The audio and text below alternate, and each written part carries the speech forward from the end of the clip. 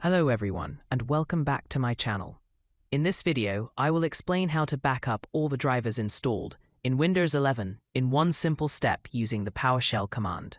And I will also explain how to restore them when needed. This method ensures you always have your drivers ready and compatible with your current system. Whether you're planning to reinstall Windows 11 or simply want peace of mind, Backing up your drivers is a crucial step that can save you a lot of time and headaches. Every device connected to your PC, your graphics card, sound card, Wi Fi adapter, or even a virtual device relies on a specific driver to function correctly. Normally, after reinstalling Windows, you'd have to manually search for each driver and install them one by one. This method will save you a lot of time. Well, to begin, you should know that all installed drivers on your computer can be viewed through Device Manager. So you should know that you'll be backing up the drivers listed in this list. Before starting the backup, create a folder to store your driver backups.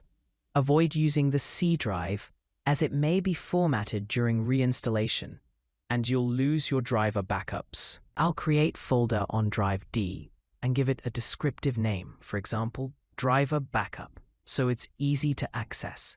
You should also specify the path to this folder, as we'll need it when executing the backup command. Next, open the PowerShell window as administrator. Running PowerShell with elevated privileges allows access to system files, including protected driver folders. In PowerShell window, type the command shown on the screen. This command directs PowerShell to export and backup the driver packages. Online means you're targeting the current Windows installation, and destination means this is where you want to save the drivers. Then type the path to the folder you created and press Enter. PowerShell will scan your system and begin exporting each third-party driver to that folder. This process may take a few minutes. Wait for the command to complete and close the PowerShell window after confirming that it has completed without any error messages. Next, Verify the backup. Open the folder you specified for the backup and confirm that the backup was successful.